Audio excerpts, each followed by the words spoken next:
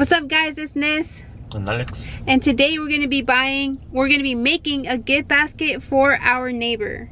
So stay tuned and let's go. Why? Why? Well, we're gonna make one for her because she always lets us know whenever Max gets out of the house or she's just a good neighbor. So let's do it. Why not? Alright guys, so after, this is not what we're giving her. This is our groceries. So we need to find a basket. So let's go to find a basket, right? Because we need to give her in a basket. So let's go find one. Why does the basket itself have to be so expensive? This one's, this one's cheap. This one's on sale. Or is it, does this basket look, does it look okay? Because if we want a nice looking basket, it's gonna be like $20. Smell good? What? Smells like pancakes?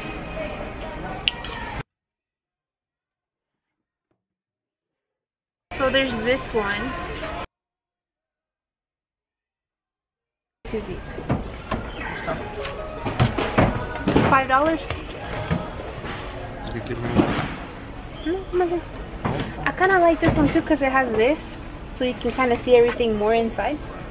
What do you think? Or does this does this look too does it look too cheap? Ah. Okay.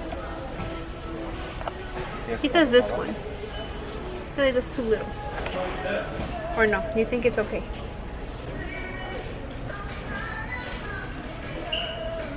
Twelve dollars.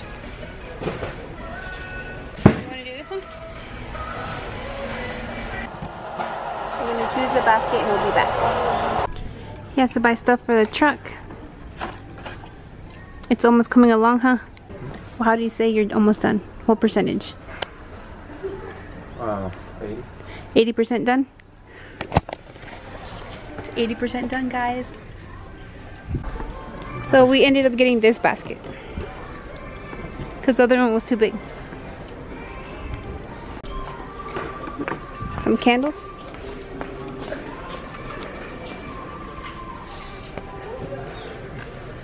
Me recuerdo mucho de México. Really? Oh, smells good. So I'm probably getting her a candle.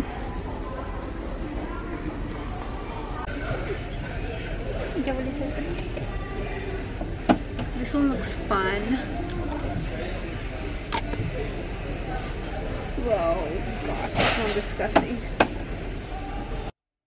Can't go wrong with pumpkin spice, right? Oh, is? Oh. How did that smell?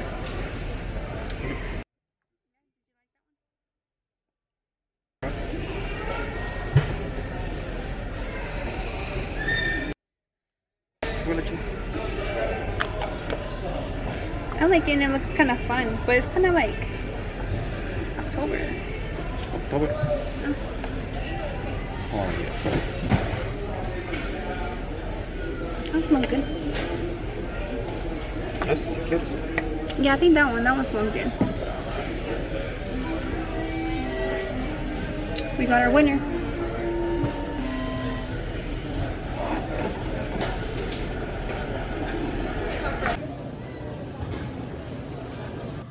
Is how it ended up looking like. Don't forget to subscribe, like, share, comment, and see you guys in the next video.